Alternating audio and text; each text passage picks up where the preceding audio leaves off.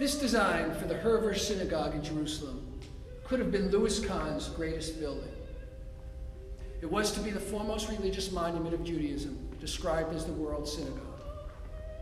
For Kahn, it was a rare opportunity to give expression to his concept of assembly, where people could transcend individual concerns. And most importantly, it was a chance for him to give shape to divinity. It was a shape created by light. More than that, it was light.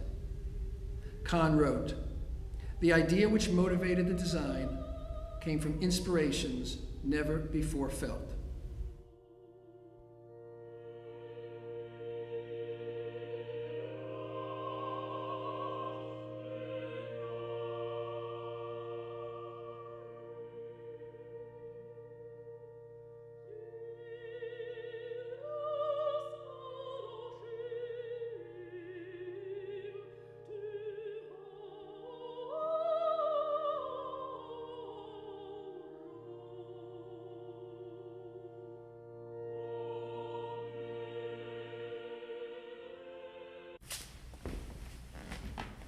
It's true that Lou Kahn despised computers, but it's hard to believe he would not have loved this virtual rendition of his incredible design of the Hurva Synagogue.